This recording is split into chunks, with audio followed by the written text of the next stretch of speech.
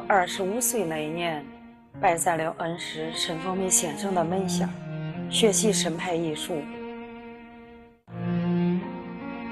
流逝的时光冲淡不了我对恩师的思念，更加无法忘记恩师对我的嘱托和教诲。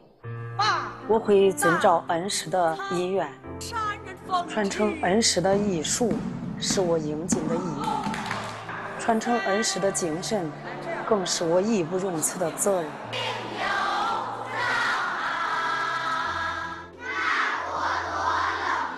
每当我来到恩师资助的这座学校——凤梅小学，看到孩子们一张张纯真的笑脸，我就想起了恩师。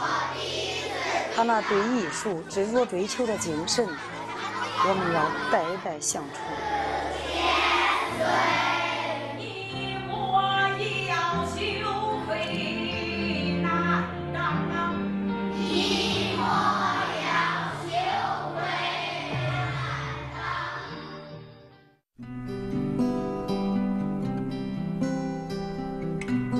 有一次，就是在家乡演出的时候，看到教室啊破破烂烂的，他心里很不舒服，就说我作为家乡走出来的人，就是没有照顾好家乡，我一定就是临终，不管卡上有多少钱，要捐献给家乡，让孩子们好好的学习文化，好好的读读书，都成为国家的栋梁。二零一八年新年伊始，正值越调大师申凤梅先生诞辰九十周年之际，河南省越调剧团在团长申小梅的带领下，申凤梅文艺志愿服务团在申凤梅先生的家乡河南省临颍县举行了成立仪式。作为纪念乐调大师申凤梅先生诞辰九十周年系列纪念活动的开篇，文艺志愿服务团的第一次走基层慰问演出。特地安排在了这所申凤梅先生所资助的凤梅小学。三年前就有这个想法呃，一直呢就想着怎么给老百姓走田间地头啊，走街串巷啊，啊，去社区啊，这就是二十个人小团队带七八个乐队，然后呢带十几个演员，更好的。方便演出，更好的方便我们最基层的老百姓来领落、观看我们的演出，是建立了这么一个平台。乐调大师申凤梅，一九二七年出生在河南省临颍县。自幼家境贫寒的她，在十一岁便进入乐调科班学戏，十四岁开始登台演出。在她将近六十年的艺术生涯中，成功塑造了二百多个鲜明的艺术形象，尤其是在他演出的《收姜维》《诸葛亮吊孝》《七擒孟获》等七部三国题材剧目中所塑造的七个不同年龄、不同性格的诸葛亮形象，更是深入人心，受到广大观众的喜爱。我师傅唱戏啊，既向大江东去，又有一泻千里。那种感觉气势恢宏，又有婉约的地方，呃，那观众啊评价申凤梅的戏就是百听不厌，怎么听都是好听的。它最大的特点就是唱中带笑。早期的河南乐调属于河南民间小调，在受到梆子等剧种的影响后，逐渐演变为专门的戏曲。在过去。乐调的传承多为口传心授。一九五七年，河南省提出音乐教育使用乡土音乐教材，在此机缘之下，负责编写乐调教材的作曲家赵抱恒找到了已经名噪一时的申凤梅先生。当时呢，我在这个乐调剧团那边，就找着这些乐调的老艺人，呃，听他们这个给我讲乐调的一些。版式啊，一些曲牌啊，我就开始用手来记录，啊，不是录音机，是用手他他唱，我记谱，这样来记，都是利用他的休息时间，或者利用晚上散戏以后的这个他卸了妆出来，我在售票室等着他，我们记一会儿，因为他还很累了。在经过赵抱恒与申凤梅近两年时间的不断记录与整理，一九五九年冬天，第一本关于乐调的书籍《乐调收姜维剧本与曲谱》由河南人民出版社正式印刷出版。这一举措对于乐调的传承与发展也具有里程碑式的意义。他说：“我们乐调从来没有谱子。”你这个一记收姜维，就是我们乐调有了自己的曲谱。这个剧本与曲谱细到什么呢？细到每一锣都记上，大锣、铜器全部都记上，从头到尾有有铜器谱的在上面。啊，就是说下边剧团拿着这个剧本，就可以照着这个谱子就可以演戏了。一九六零年，刚刚完成了乐调曲谱出版的申凤梅。由河南省项城县乐调剧团调往当时的开封专区乐调剧团担任副团长。就在这一年，申凤梅先生对收姜维的剧本、唱腔、表演及舞台调度进行了全面的加工整理，使其成为了乐调的经典剧目。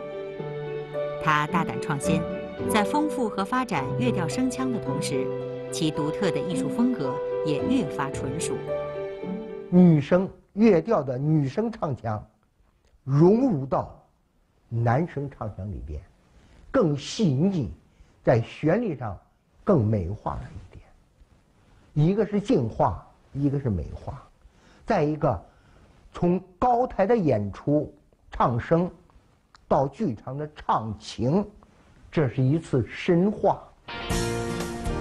申凤梅先生离开我们已有二十余载。但他生前为乐调事业的发展所做出的贡献，将永远被后人所铭记。在申凤梅先生九十周年诞辰之际，河南省文化厅等相关部门组织的纪念乐调大师申凤梅诞辰九十周年座谈会在郑州举行。座谈会上，来自河南省文艺界的相关专家学者就学习申凤梅先生崇高的艺术精神展开了深刻的学习和讨论。因为有了申凤梅，才使乐调这样一个地方的小剧种成为中国戏剧百花园当中的一朵奇葩。我觉得申凤梅大师他那种大江东去的唱段和唱腔，永远流传在中原大地和中国大地上。无论是在台前还是幕后，申凤梅对待观众总是亲和的。剧团演完戏。许多观众都想看看卸妆以后的申凤梅，看她到底长什么样，顺便也再多听她唱上两段才算满足。对于观众的这点要求，申凤梅总是无条件的满足。收姜维演完了，这边还是申老师来一段，申老师来一段。当时申老师这边都是硬坚持的把这一场戏演完了，演完了，我们的护士在后边了。直接吊瓶都扎上了，我们也唱了，唱了，观众不愿意啊，非得让申老师还得想见见真人。当时申老师说：“不行啊，医生，学生们唱了，是学生们唱了，观众不走，我还要去唱啊。”一九六三年三月十九日，在著名京剧表演艺术家袁世海和杜静芳的推荐下。申凤梅先生首次率领乐调剧团进京演出，把他的代表作《李天宝吊孝》《收姜维》奉献给了首都观众。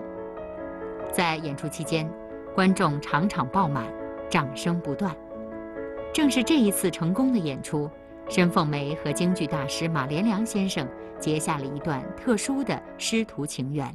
那时候马先生刚从这个香港演出回来，哎，回来之后。就请他到剧场去看，一看，他他去了好几场。马先生没有想到一个女演员能唱成这个样子，他特别欣赏，所以沈老师又有想拜师这个意愿，又给这个袁世海先生说，给杜锦芳呃女士说，他们就成全了这个事儿。申凤梅先生曾六次率乐调剧团进京演出，这期间受到了党和国家领导人以及首都各界人士的亲切接见。正是在这个时期的演出中，作为马连良先生唯一一位唱地方戏的女弟子，申凤梅受到了马连良给予的热心帮助和积极影响，让她在塑造越调的诸葛亮这一艺术形象上有了进一步的提升。马先生他是个改革家，他对化妆、对服装、对这个，特别是在扮相上，他的改革是很多很多的。在这个三传令的时候，这是在大帐里边的，但是你到了凤鸣山，那是在山上的，你不能在这个一般的这个，呃，把这个八卦巾，就是一般的戴法，需要他就是把这个后边的两个飘带就把它系到这儿。是吧？山上有风啊，确实把这个环境给人物给展示出来的。九十年代初期，随着时代潮流的发展，戏曲被搬上荧屏，以更加丰富的样式呈现在了观众面前。在申凤梅先生的不懈坚持下，越调申派艺术逐渐被人们所熟知。一九九五年的七月。在结束了戏曲电影拍摄的申凤梅先生，却突然因病逝世，一代越调大师就这样永远地离开了他所热爱的舞台。如果说诸葛亮，他的老师很潇洒飘逸，这是马连良的风格，是吧？非常巧，非常飘洒，非常典雅。那么申凤梅的演出呢，他就更具有一种人气，就是还原到人的本体上来，更朴实，就是用我们现在的话接地气。传承乐调艺术，学习凤梅精神，是当下乐调工作者所秉承的理念。在纪念申凤梅大师诞辰九十周年系列活动的尾声。河南省乐调剧团在周口举行了纪念申凤梅先生诞辰九十周年专题晚会，给观众带来了一台精彩的乐调申派艺术专场演出。作为申凤梅先生的关门弟子，申小梅在继承和学习恩师的艺术的同时，不忘创新和培养新一代乐调人才。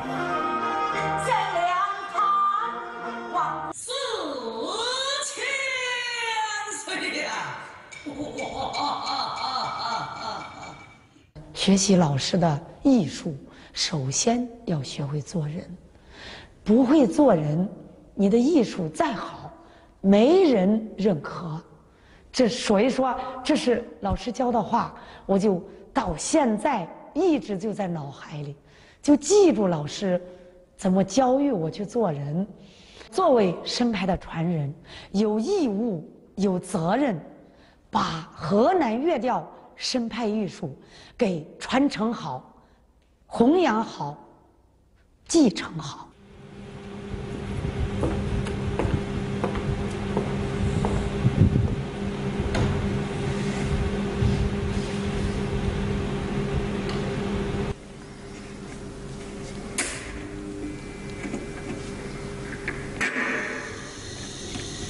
申凤梅先生一生与戏结缘，视戏如命。作为常年扎根基层的文艺工作者，他将自己的一生都奉献给了他所钟爱的乐调事业。他的脉搏跳动着戏的节奏，血管里流淌着戏的韵律。在他的生命细胞里，注入的是一位老艺术家对观众的赤诚和纯真。正如他在舞台上所塑造的诸葛亮一般，鞠躬尽瘁。孜孜不倦地在舞台与观众中间燃烧着生命之火，发出光和热。纵使乐调大师申凤梅先生已经远去，但在一代代乐调人的继续努力下，相信乐调申派艺术还将继往开来，生生不息。